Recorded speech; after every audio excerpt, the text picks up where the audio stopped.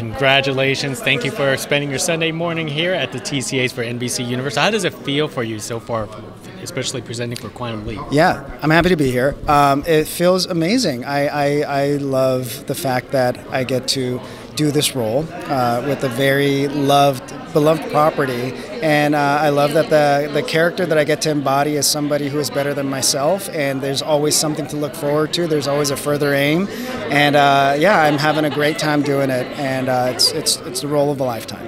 What do you suppose is the secret of success so far for a series like this?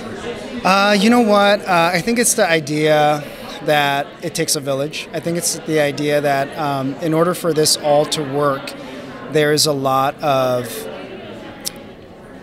compromising that everybody has to do because you know to make network television there's a time crunch. We have to turn in an episode after however many days. And if there is if there's not enough room and space for people to have a conversation about something and then to agree on something and move on quickly using our first impulse and instincts, um, then you're gonna you're not going to be able to create the best show possible because we're on a just a race against the clock.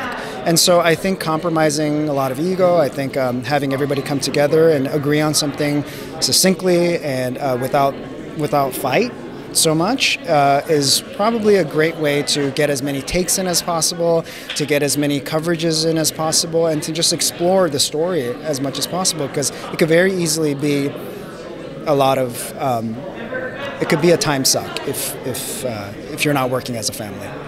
I was telling somebody the other day that Raymond got the best job in the world as an actor because you don't get to play one role, you get to play a new role every single episode. I'll tell you, it's never stale. It's always exciting. Uh, I'll get a I'll get a new script and I'm like, you know, it's it's not rinse repeat. You know, it's not. I'm not in a courtroom. No no jab on courtroom dramas, but I'm not in the same you know, police uniform every day. I am in literally a completely different uniform in a completely different time period. So it's a dream. And especially being somebody of my background, mm-hmm. we don't really necessarily get to picture ourselves, let's say if we go back to the 1800s, we don't get to picture ourselves as the heroes in the 1800s. Now, perhaps, yeah. But back then, there was a lot to overcome. So to be able to see that, I think it says so much more than actually even just talking about it. So, yeah.